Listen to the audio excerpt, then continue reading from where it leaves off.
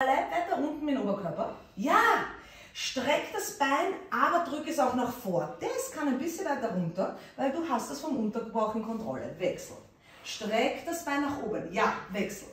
Streck das Bein. Ja, schau, dass der Oberkörper da hinten unten bleibt. Ja, roll die Schultern, Sabine, auf den Rücken. Bravo. Visier da vorne einen Punkt an, wo immer die Zehe zum selben Punkt geht, ja? Dass du da nicht wackelst, das bleibt dort bei dem Punkt. Bleib da bei dem Punkt. Bleib bei dem Punkt. Super. Beuge die Knie, fass an den Barrel, schaukel hoch, kurzes Durchatmen. Atme, atme, atme. Gut. Wenn du da jetzt rauf gehst, mach gleich Schambein Richtung Schulter. Genau. Und roll kontrolliert ab, während du dich, du dich zurechtrückst. Double Straight Leg Stretch. Hände, Handteller über Handteller ans Hinterhaupt. Ja, richtig. Beide Beine gehen vertikal nach oben, da musst du ein bisschen die Knie beugen, dass die schön drin sind, die Oberschenkel. Ja, ja, ja.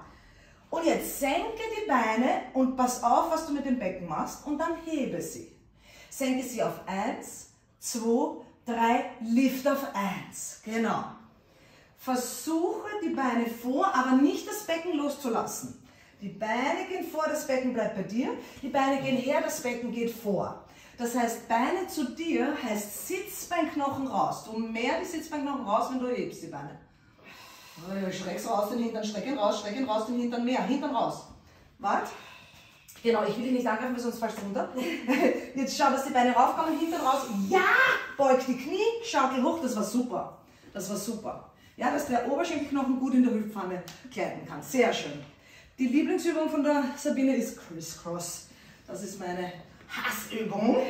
Du rollst ganz weit vor, sehr gut. Hände, Handteil über Handteil ans Hinterhaupt. Wir probieren